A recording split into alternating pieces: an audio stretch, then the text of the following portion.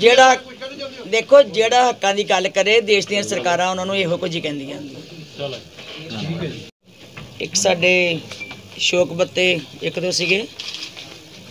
ਜਿਸ ਤਰ੍ਹਾਂ ਭਾਈ ਅਮਰਜੀਤ ਸਿੰਘ ਜੀ ਗੁਲਸ਼ਨ ਸਾਹਿਬ ਚੜ੍ਹਾਈ ਕਰ ਗਏ ਉਹਨਾਂ ਨੂੰ ਵੀ ਸ਼ਰਧਾ ਦੇ ਫੁੱਲ ਪੇਂਟ ਕੀਤੇ। ਦੂਜਾ 26 ਜਨਵਰੀ ਨੂੰ ਜੋ ਘਟਨਾਕ੍ਰਮ ਹੋਇਆ ਉਹਦੀ ਨਿੰਦਾ ਵੀ ਕੀਤੀ। ਤੇ ਜਿਹੜੇ ਉੱਥੇ ਗ੍ਰਿਫਤਾਰ ਕੀਤੇ ਗਏ ਹੈ ਤੇ ਸਾਰੇ ਸਰਬਸੰਮਤੀ ਨਾਲ ਇਹ ਪਾਸ ਕੀਤਾ ਕਿ ਉਹਨਾਂ ਨੂੰ ਤੁਰੰਤ ਰਿਹਾਈ ਕੀਤੀ ਜਾਵੇ। ਤੇ ਜਿਹੜੇ ਕੋਈ ਉੱਥੇ ਗੋਲੀ ਨਾਲ ਜਿਸ ਨੂੰ ਮਾਰਿਆ ਗਿਆ, ਜਿਸ ਤਰ੍ਹਾਂ ਰਮਨਦੀਪ ਨਵਦੀਪ ਸਿੰਘ ਆਪਣਾ ਲੜਕੇ ਨੂੰ, ਜਿਸ ਦੀ ਜਾਨ ਗੋਲੀ ਨਾਲ ਵੀ ਗਈ ਹੈ ਜਾਂ ਜਿਹੜੇ ਵੈਸੇ ਵੀ ਜਾਨਾਂ ਚਲੀਆਂ ਗਈਆਂ, ਉਹਨਾਂ ਨੂੰ ਸ਼ਰਧਾ ਦੇ ਫੁੱਲ ਭੇਂਟ ਕੀਤੇ। ਪਰਿਵਾਰਾਂ ਦੇ ਨਾਲ ਹਮਦਰਦੀ ਜ਼ਾਹਿਰ ਕੀਤੀ ਹੈ ਤੇ ਸ਼ੋਕ ਮਤਾ ਉਹਨਾਂ ਦੇ ਪਰਿਵਾਰਾਂ ਨੂੰ ਭੇਜਣ ਵਾਸਤੇ ਪਾਸ ਕੀਤਾ ਗਿਆ। ਦੂਜੀ ਗੱਲ ਹੈਗੀ ਹੈ ਕਿ ਜੋ ਭਾਈ ਰਾਜੋਆਣਾ ਸਾਹਿਬ ਕਾਫੀ ਚਿਰ ਤੋਂ ਜੇਲ੍ਹ ਵਿੱਚ ਹੈ ਤੇ ਉਹਨਾਂ ਦਾ ਤੁਰੰਤ ਫੈਸਲਾ ਕਰੇ ਸਰਕਾਰ, ਤੁਰੰਤ ਉਹਨਾਂ ਦੀ ਰਿਹਾਈ ਕਰੇ, ਉਹਦੇ ਸਬੰਧ ਵਿੱਚ ਜਿਹੜਾ ਉਹ ਪਤਾ ਕੀਤਾ ਗਿਆ। ਇੱਕ ਉਹਨਾਂ ਦੇ ਫੀਸ ਵਾਸਤੇ, ਕਿਉਂਕਿ ਅਸੀਂ ਹਰ ਮਹੀਨੇ ਜਾਂ ਹਰ ਪੇਸ਼ੀ ਦੇ ਉੱਤੇ 11 ਲੱਖ ਰੁਪਏ ਫੀਸ ਦਿੰਨੇ ਆ ਇਸ ਤਰ੍ਹਾਂ ਭਾਈ ਦਵਿੰਦਰਪਾਲ ਸਿੰਘ ਭੁੱਲਰ ਸਾਹਿਬ ਜੀ ਉਹਨਾਂ ਦੀ ਵੀ ਹਰ ਪੇਸ਼ੀ ਦਾ ਅਸੀਂ ਵਕੀਲ ਨਾਲ ਕੀਤਾ, ਉਹਨਾਂ ਦਾ ਵੀ 11 ਲੱਖ ਰੁਪਇਆ ਤੇ ਉਹਨਾਂ ਦੀ ਜਿਹੜੀ ਆਈ ਸੀ ਫੀਸ, ਉਹ ਵੀ ਪਾਸ ਕੀਤੀ ਗਈ ਹੈ। ਭਾਈ ਰਾਜਵਾਨਾ ਸਾਹਿਬ ਜੀ ਦੀ ਕਿ ਵਕੀਲ ਨੂੰ ਫੀਸ ਦੇਣੀ ਹੈ। ਉਹ ਵੀ ਕਿਉਂਕਿ ਅਸੀਂ ਇਹ ਜਿਹੜਾ ਪੱਕਾ ਹੀ ਬਣਾਇਆ ਹੋਇਆ ਕਿ ਜਦੋਂ ਵੀ ਉਹਨਾਂ ਦੀ ਪੇਸ਼ੀ ਹੁੰਦੀ ਹੈ, ਉਹਨਾਂ ਨੇ ਸਾਡੇ ਕੋਲ ਮੰਗਿਆ ਹੋਇਆ ਕਿ ਹਰ ਪੇਸ਼ੀ ਦੇ ਉੱਤੇ 11 ਲੱਖ ਰੁਪਇਆ ਭਾਈ ਰਾਜਵਾਨਾ ਸਾਹਿਬ ਜੀ ਦੀ ਪੇਸ਼ੀ ਤੇ ਵਕੀਲ ਨੂੰ ਦੇਣਾ ਪੈਂਦਾ। ਉਹ ਆਇਆ ਸੀ ਬਿੱਲ, ਉਹ ਪਾਸ ਕੀਤੇ ਗਏ। ਇੱਕ ਜਿਹੜਾ ਸਾਨੂੰ ਆਫਰ ਆਈ ਸੀ, ਮੈਂ ਪਿੱਛੇ ਐਲਾਨ ਕੀਤਾ ਸੀਗਾ ਕਿ ਸੋਲਰ ਲਗਵਾਉਣੇ ਹੈ।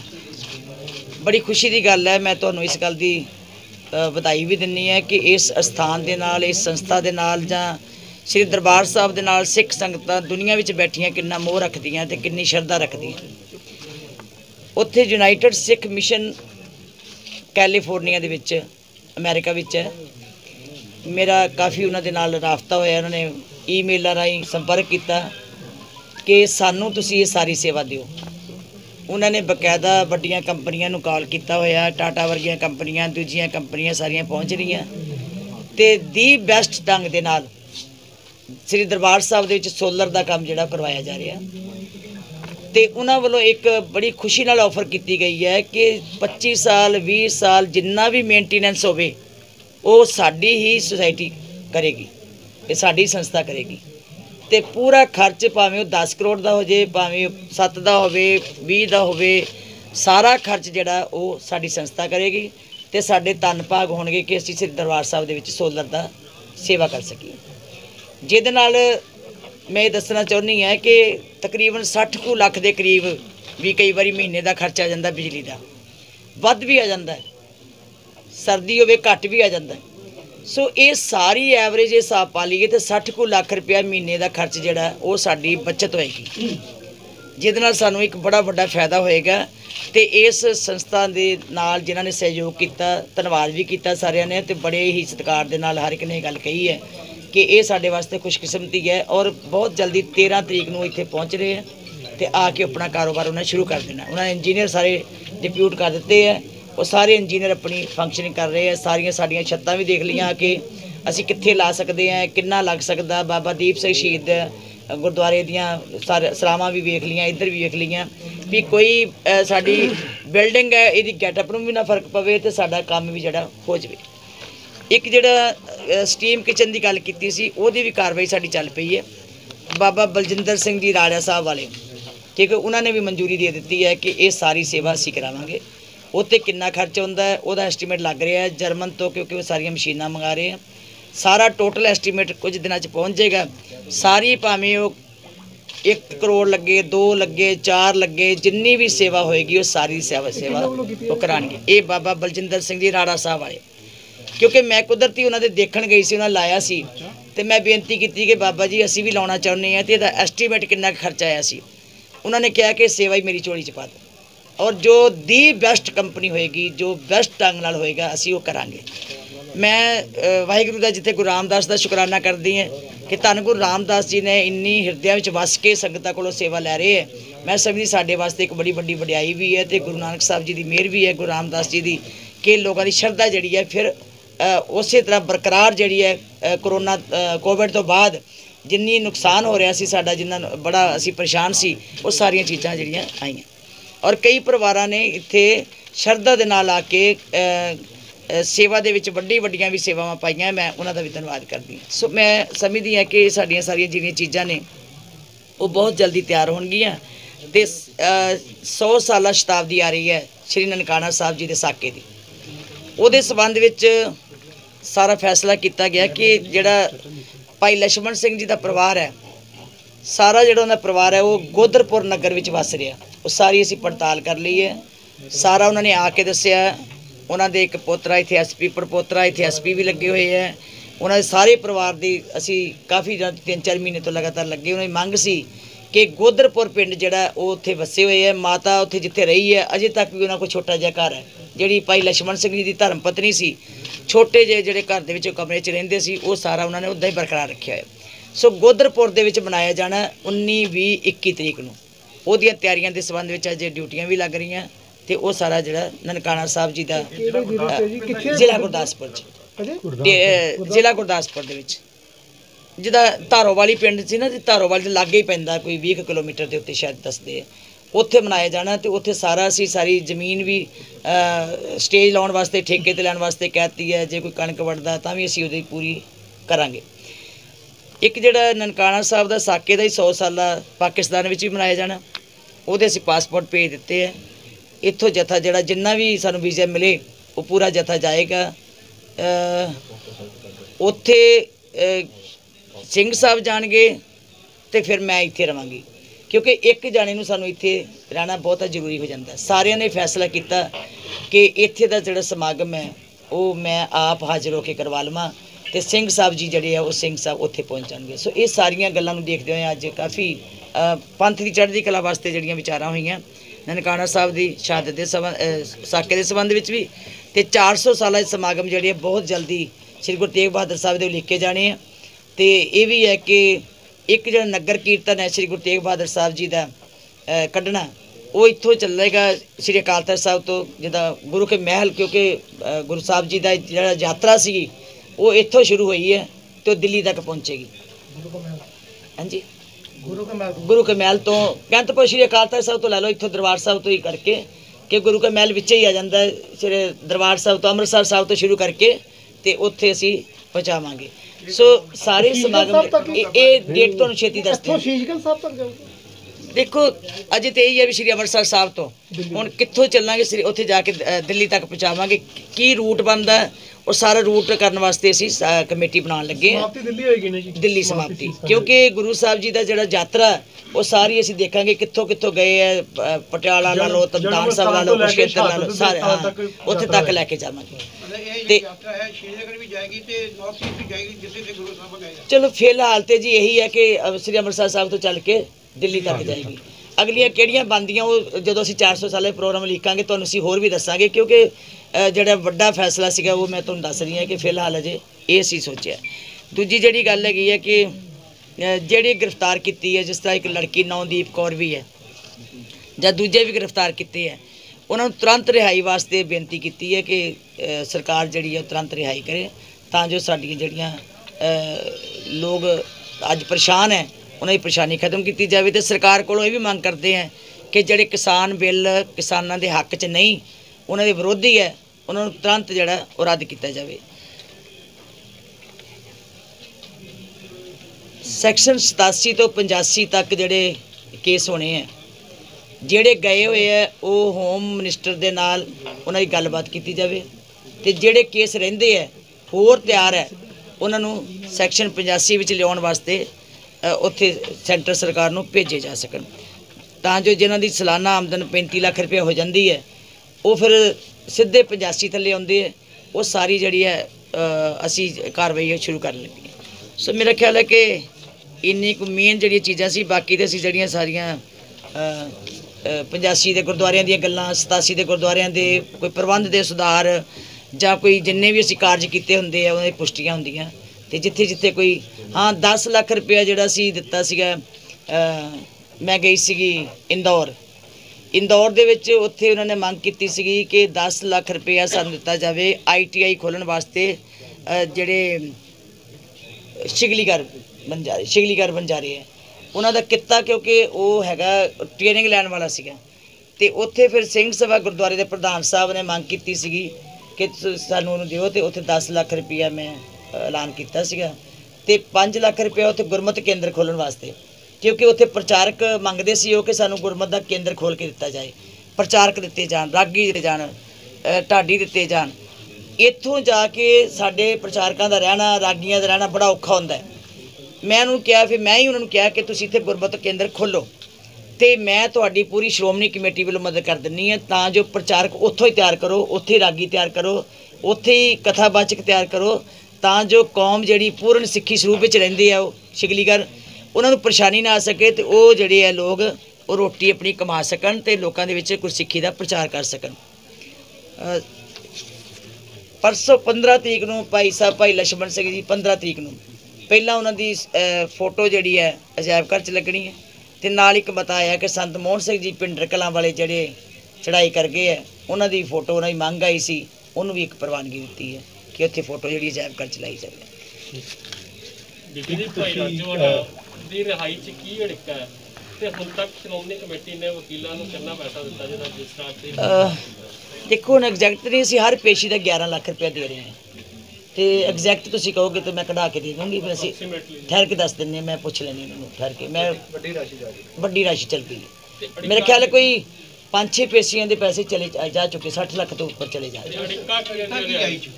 ਸੁਪਰੀਮ ਕੋਰਟ ਨੇ ਭਾਰਤ ਸਰਕਾਰ ਨੂੰ ਹਦਾਇਤ ਦਿੱਤੀ ਹੋਈ ਹੈ। ਹੁਣ ਇਹ ਭਾਰਤ ਸਰਕਾਰ ਦੀ ਕਮਜ਼ੋਰੀ ਹੈ। ਭਾਰਤ ਸਰਕਾਰ ਨਹੀਂ ਫੈਸਲਾ ਕਰ ਰਹੀ। ਇਹ ਭਾਰਤ ਸਰਕਾਰ ਸਿੱਖ ਵਿਰੋਧੀ ਹੈ ਪਹਿਲਾਂ ਸਾਡੇ ਨਾਲ ਸੀ ਦੇਖੋ ਸਾਡੇ ਦੇਖੋ ਭਾਰਤ ਦੀ ਸਰਕਾਰ ਸਾਡੀ ਹੈ। ਸਾਡੀ ਸਾਰਿਆਂ ਦੀ ਹੈ। ਭਾਰਤ ਸਰਕਾਰ ਜਿਹੜੀ ਹੈ ਸਾਡੀ ਸਾਰਿਆਂ ਦੀ ਹੈ। ਜਦੋਂ ਅਸੀਂ ਸਰਕਾਰ ਦੇ ਵਿੱਚ ਭਾਈਵਾਲ ਸੀ ਅਸੀਂ ਉਦੋਂ ਵੀ ਗੱਲ ਇਹ ਨਹੀਂ ਕਿ ਅਸੀਂ ਰਾਜੋਵਾਨ ਦੀ ਗੱਲ ਨਹੀਂ ਕੀਤੀ, ਜਾਂ ਅਸੀਂ ਕਰਦੇ ਆਏ ਹਾਂ। ਜਿਹੜੇ ਵੀ ਕੋਈ ਵਾਧੇ ਧੱਕੇ ਹੋਏ ਹੈ, ਭਾਰਤ ਸਰਕਾਰ ਨਹੀਂ ਕਰਦੀ, ਅਸੀਂ ਉਹਨਾਂ ਦੀ ਗੱਲ ਉਠਾਉਂਦੇ ਹਾਂ। ਇਹ ਮਤ ਸੋਚੀਏ ਕਿ ਜੇ ਸਰਕਾਰ ਵਿੱਚ ਸਾਡਾ ਮੰਤਰੀ ਬੈਠਾ ਸੀ ਤੇ ਅਸੀਂ ਕੋਈ ਡਿਵੈਲਪਮੈਂਟ ਦੀ ਗੱਲ ਨਹੀਂ ਕੀਤੀ, ਅਸੀਂ ਕੋਈ ਪੰਜਾਬ ਦੇ ਲੋਕਾਂ ਦੀ ਗੱਲ ਨਹੀਂ ਕੀਤੀ, ਅਸੀਂ ਪੰਜਾਬ ਦੇ ਹੋਏ ਤਸ਼ੱਦਦ ਦੀ ਗੱਲ ਨਹੀਂ ਕੀਤੀ, ਜੇ 84 ਦੇ ਕਤਲ ਹੋਏ ਸੀ, ਉਹਨਾਂ ਦੀਆਂ, ਉਹਨਾਂ ਵਾਸਤੇ ਵੀ ਸਜ਼ਾਵਾਂ ਦੀ ਗੱਲ ਕੀਤੀ ਹੈ। ਉਹਨਾਂ ਦੀ ਵੀ ਪੈਰਵਾਈ ਕੀਤੀ ਹੈ। ਪੂਰੇ ਤਰ੍ਹਾਂ ਨਾਲ ਸਜ਼ਾਵਾਂ ਵੀ ਦਵਾਈਆਂ ਔਰ ਉਹਨਾਂ ਦੇ ਕੇਸ ਵਾਪਸ ਵੀ ਖੁਲਵਾਏ ਹੈ। ਜੇ ਕਿਤੇ ਵੀ ਕੋਈ ਭੀੜ ਬਣੀ ਹੈ ਜਾਂ ਪੀੜਾ ਆਈ ਹੈ ਤੇ ਸ਼੍ਰੋਮਣੀ ਅਕਾਲੀ ਦਲ ਦੇ ਸਾਡੇ ਮੈਂਬਰ ਪਾਰਲੀਮੈਂਟ ਜਿਹੜੇ ਵਿੱਚ ਬੈਠੇ ਸੀ ਜਾਂ ਵਜ਼ੀਰ ਬੈਠੇ ਸੀ, ਉਹਨਾਂ ਨੇ ਦੁਹਾਈ ਪਾ ਪਾ ਕੇ ਉਹਨਾਂ ਗੱਲਾਂ ਨੂੰ ਹੱਲ ਕਰਾਇਆ। ਔਰ ਜੇ ਕਿਤੇ ਇੱਥੇ ਜੀਐਸਟੀ ਲੱਗ ਗਈ, ਤਾਂ ਅਸੀਂ ਕਹਿ ਕੇ ਕਰਾਇਆ ਜੇ ਕੋਈ ਵੀ ਗੱਲ ਹੈ, ਇੱਥੇ ਐਫਐਸਆਰ ਲੈਣੀ ਸੀ, ਉਹ ਤਾਂ ਅਸੀਂ ਕਹਿ ਕੇ ਕਰਾਇਆ। ਸੋ ਜਦੋਂ ਸੈਂਟਰ ਵਿੱਚ ਬੈਠੇ ਸੀ, ਅਸੀਂ ਸੈਂਟਰ ਦਾ ਕੰਮ ਵੀ ਕੀਤਾ।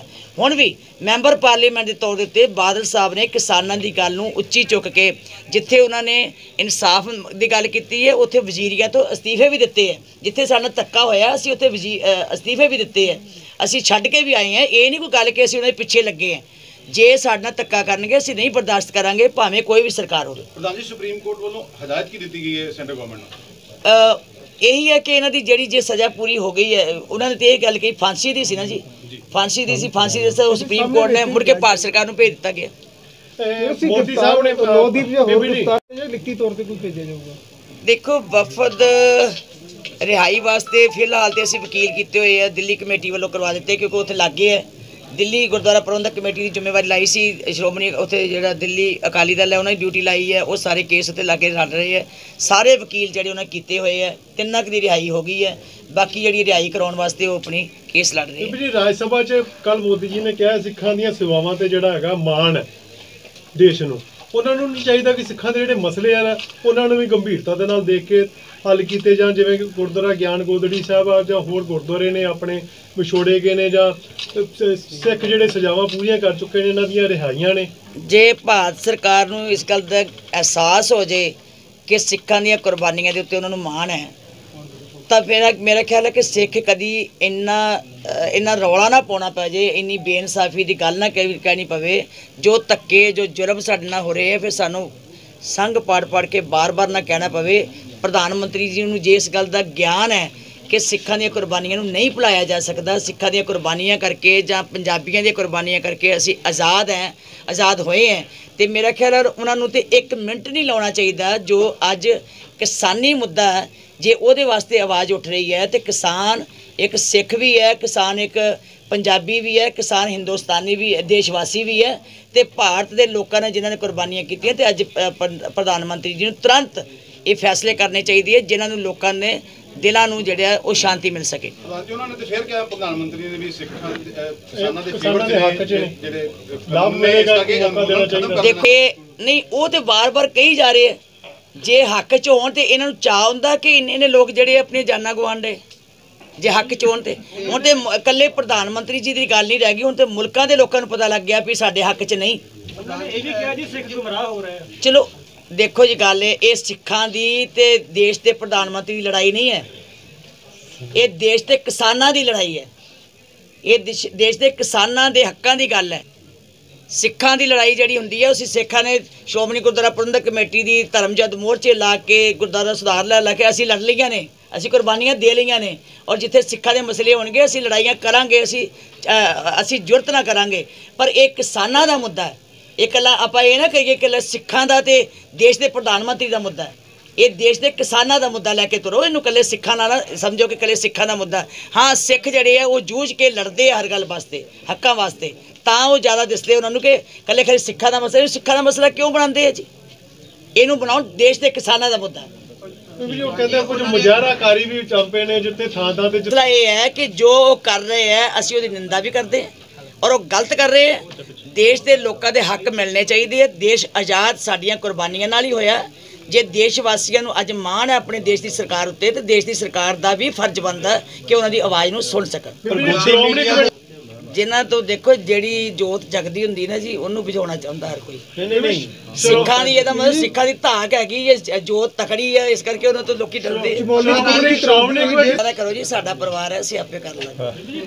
ਚਮੋਲੀ ਚ 150 ਤੋਂ ਵੱਧ ਬੰਦਾ ਲਾਪਤਾ ਹੈ ਜੀ ਗਲੇਸ਼ੀਅਰ ਪਟਨ ਆ ਜਿਹੜੇ ਜੀ ਆ ਜਿਹੜਾ ਮੋਰਚੇ 'ਚ? ਨਹੀਂ ਨਹੀਂ ਮੈਡਮ ਜਿਹੜੇ ਲਾਪਤਾ ਹੋਏ ਆ ਉਹਨਾਂ ਦੀ ਸਰਕਾਰ ਨੂੰ ਤੁਰੰਤ ਭਾਲ ਕਰਨੀ ਚਾਹੀਦੀ ਹੈ। ਔਰ ਜੇ ਕੋਈ ਨੁਕਸਾਨ ਹੋਇਆ ਹੈ ਤੇ ਉਹ ਵੀ ਦੇਖਣਾ ਚਾਹੀਦਾ। ਇੱਕ ਨਿੱਜੀ ਚੈਨਲ ਤੇ ਗੁਰਜੀ ਚੈਨਲ ਨੇ ਤੁਹਾਨੂੰ ਗੁਰਬਾਣੀ ਪ੍ਰਸਾਰਣ ਵਾਸਤੇ ਇੱਕ ਚੈਨਲ ਦੇ ਲਈ ਐਗਰੀਮੈਂਟ ਕੀਤਾ ਸੀ ਲੇਕਿਨ ਦੋ ਹੋਰ ਚੈਨਲਾਂ ਤੇ ਵੀ ਚਲਾਈ ਜਾ ਰਹੀ ਹੈ। ਕੋਈ ਕਿਸੇ ਕਿਸਮ ਦੀ ਟਿੱਪਣੀ ਨਹੀਂ ਜੀ ਤੁਹਾਡੇ ਐਗਜ਼ੈਕਟਿਵ ਦੇ ਮੈਂਬਰ ਨਹੀਂ ਕੋਈ ਐਸੀ।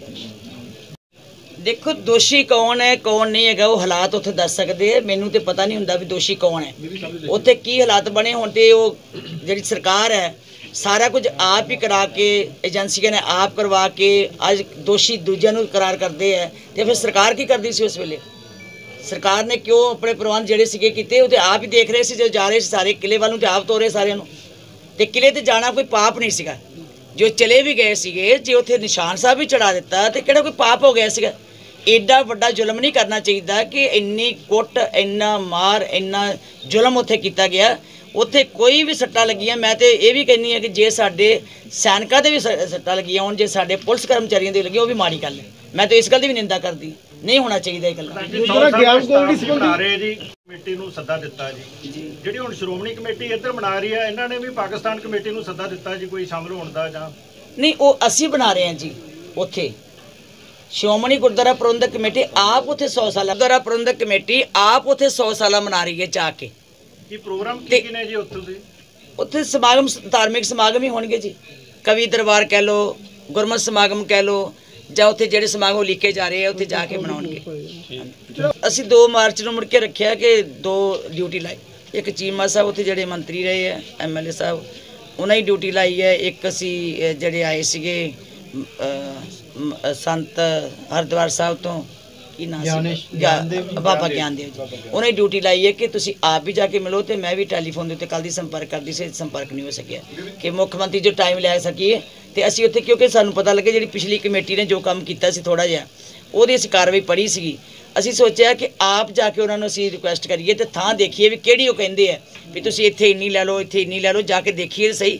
ਮੇਨ ਮਕਸਦ ਇਹ ਹੈ ਵੀ ਗੁਰੂ ਸਾਹਿਬ ਉੱਥੇ ਗਏ ਜਿੱਥੇ ਉਹ ਜਗ੍ਹਾ ਤੇ ਰਹੇ ਹੈ ਉਹ ਜਗ੍ਹਾ ਕਿੰਨੀ ਕੁ ਹੈ ਸਾਨੂੰ ਕਿੰਨੀ ਦਿੰਦੇ ਹੈ ਉਹਦੇ ਜਾਂ ਕੋਈ ਹੋਰ ਸਾਨੂੰ ਜਗ੍ਹਾ ਕਿੱਥੇ ਕਿ ਦਿੰਦੇ ਆ ਉਹ ਸਾਰੀ ਦੇਖਣ ਵਾਸਤੇ ਜਦ ਤੱਕ ਅਸੀਂ ਆਪ ਨਹੀਂ ਜਾਂਦੇ ਜਿਹੜਾ ਅਸੀਂ ਕੋਈ ਇੱਕ ਦੋ ਭੇਜ ਦਿੰਦੇ ਹਾਂ ਫਿਰ ਉਹਨਾਂ ਕੋਲ ਪੂਰੀ ਨਹੀਂ ਹੋ ਸਕਦੀ। ਇਸ ਕਰਕੇ ਬੰਨ ਬਣਾਇਆ ਕਿ ਜਿਹੜੀ ਸਾਰੇ ਜਾਣੇ ਜਾ ਕੇ ਇੱਕ ਵਾਰੀ ਮੀਟਿੰਗ ਕਰ ਲਈਏ ਤੇ ਉਸ ਮੁੱਖ ਮੰਤਰੀ ਨੂੰ ਹਾਲਾਤਾਂ ਬਾਰੇ ਜਾਣੂ ਜੀ ਐਸਪੀਸੀ ਵੱਲੋਂ ਇੱਕ ਸ਼ੁਰੂ ਹੋ ਜਾਏਗੀ ਵੈਸੇ ਤਾਂ ਤੁਸੀਂ ਕਿਹਾ ਕਿੱਥੇ ਖੋਲੀ ਜਾਏਗੀ ਤੇ ਦੇਖੋ ਅਸੀਂ ਮੈਂ ਸਾਰੇ ਡਾਇਰੈਕਟੋਰੇਟ ਵਾਸਤੇ ਮੈਂਬਰ ਨਾਮਜ਼ਦ ਕਰ ਦਿੱਤੇ ਹੈ ਡਾਇਰੈਕਟਰ ਵੀ ਲਾਤੀ ਹੈ ਵਾਈਸ ਡਾਇਰੈਕਟਰ ਵੀ ਲਾਤੀ ਹੈ ਡਿਪਟੀ ਡਾਇਰੈਕਟਰ। ਉਹਦੇ ਵਾਸਤੇ ਹੁਣ ਉਹ ਮੈਂ ਮੀਟਿੰਗ ਕਰਨ ਲੱਗੀ ਹਾਂ। ਸਿਲੈਕਸ਼ਨ ਉਹ ਸਿਲੈਕਸ਼ਨ ਕਰਨਗੇ ਕਿਉਂਕਿ ਉਹਨਾਂ ਨੇ ਬਕਾਇਦਾ ਟ੍ਰਾਇਲ ਕਰਾ ਕੇ ਸਿਲੈਕਸ਼ਨ ਕਰਨੀ ਹੈ। ਅਸੀਂ ਤਿੰਨ ਕਿਤਾਬਾਂ ਦੇ ਉੱਤੇ ਅਸੀਂ ਚੁਣ ਲਿਆ ਜੀ। ਪੀਏਪੀ ਜਲੰਧਰ ਵਿੱਚ ਵੀ ਦੇਖ ਲਈ, ਜਿਹੜੀ ਟੈਰਿਫ ਬਣੀ ਹੋਈ ਹੈ। ਇਧਰ ਅੰਮ੍ਰਿਤਸਰ ਵਿੱਚ ਵੀ ਹੈ, ਚੰਡੀਗੜ੍ਹ 'ਚ ਵੀ ਹੈ। ਇਹਨਾਂ ਤਿੰਨਾਂ ਥਾਵਾਂ ਤੇ ਕੁੜੀਆਂ ਨੂੰ ਲਿਜਾ ਕੇ ਅਸੀਂ ਖਿਡਾਇਆ ਕਰਾਂਗੇ। ਜਿਹੜੀ ਪੂਰੀ ਵਧੀਆ ਟੈਰਿਫ ਬਣ ਚੁੱਕੀ ਹੈ ਉੱਥੇ ਕਢਾਇਆ ਕਰਾਂਗੇ ਜਾ ਕੇ। ਔਰ ਪੂਰੀਆਂ ਉਹਨਾਂ ਨੂੰ ਅਸੀਂ ਪੂਰੀ ਫੈਸਿਲਿਟੀ ਫ੍ਰੀ ਐਜੂਕੇਸ਼ਨ ਫ੍ਰੀ ਰਿਹਾਇਸ਼ ਤੇ ਫ੍ਰੀ ਉਹਨਾਂ ਦੀ ਖੁਰਾਕ ਸਾਰਾ ਕੁਝ ਫ੍ਰੀ ਹੋਏ ਕਰਨ ਵਾਸਤੇ ਬੱਚਿਆਂ ਲਈ ਔਰ ਖਿਡਾਵਾਂਗੇ। ਇਹ ਕਦੋਂ ਤੱਕ ਸ਼ੁਰੂ ਹੋ ਜਾਏਗੀ? ਬਸ ਜੀ ਇਸੇ ਮਹੀਨੇ ਦੇ ਵਿੱਚ ਵਿੱਚ। ਸਿੱਖ ਮਿਸ਼ਨਰੀ ਕਾਲਜ ਹੈ ਕਿ ਹਰਪ੍ਰੀਤ ਦਾ ਪਤਾ ਕਰੋ? ਨਾਲੇ ਜਿਹੜੇ ਬੱਚੇ ਨਿਕਲ ਕੇ ਆਏ ਆ, ਉਹਨਾਂ ਨੂੰ ਮੈਂ ਆਫਰ ਦਿੱਤੀ ਸੀ ਕਿ ਬੇਟਾ ਤੁਸੀਂ ਆਪਣੀ ਆਪਣੀ ਦਿਓ ਸਰਟੀਫਿਕੇਟ ਲਿਆ ਕੇ ਤੁਹਾਨੂੰ ਅਸੀਂ ਇੱਥੇ ਡਿਊਟੀਆਂ ਦੇਈਏ, ਜਿੱਥੇ ਕੰਮ ਕਰ ਸਕਦੇ ਹਾਂ, ਕਿਉਂਕਿ ਤੁਹਾਨੂੰ ਸਾਡਾ ਫਰਜ਼ ਬਣਦਾ ਜਿਹੜੇ ਬੱਚੇ ਪੜ੍ਹ ਕੇ ਨਿਕਲ ਉਹਨਾਂ ਨੂੰ ਅਸੀਂ ਰੁਜ਼ਗਾਰ ਦੇ ਉੱਤੇ ਲਾਈਏ। ਕਿਸੇ ਨਾ ਕਿਸੇ ਢੰਗ ਦੇ ਨਾਲ ਭਾਵੇਂ ਅਸੀਂ ਪਾਠਾਂ ਤੇ ਲਾਈਏ, ਭਾਵੇਂ ਅਸੀਂ ਕਥਾ ਤੇ ਲਾਈਏ, ਭਾਵੇਂ ਅਸੀਂ ਜਿਸ ਢੰਗ ਦੇ ਨਾਲ ਉਹ ਕੰਮ ਕਰ ਸਕਦੇ ਉੱਤੇ ਲਾਈਏ। ਉਹ ਉਹਦੇ ਬਾਰੇ ਇਹ ਵੀ ਪਤਾ ਲੱਗਾ ਲੱਗਾ ਜੀ ਹਰ- ਹਰਪ੍ਰੀਤ ਸਿੰਘ ਮਾਰੇ ਉਹ ਥੋੜੇ ਚਿਰ ਨੂੰ ਮਤਲਬ ਕਿ ਬਾਹਰ ਜਾ ਰਿਹਾ। ਚਲੋ ਪਤਾ ਕਰ ਲੈਂਦੇ ਜੀ। ਓਕੇ ਜੀ।